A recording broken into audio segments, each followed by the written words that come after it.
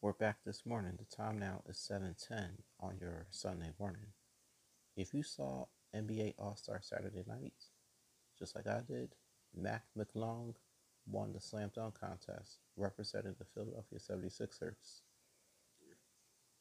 Damian Lillard won the three-point contest shootout title. And of course, Team Jazz won the skills challenge. Happening later on tonight, there's going to be the NBA All Star game as Team LeBron takes on Team Giannis on TNT and TBS. They're both parent companies to Warner Media. In other sports news on this Sunday, the Flyers lost their game to the Vancouver Canucks 6 to 2. They face off against the Calgary Flames tomorrow at 4 o'clock p.m. Eastern on ESPN Plus.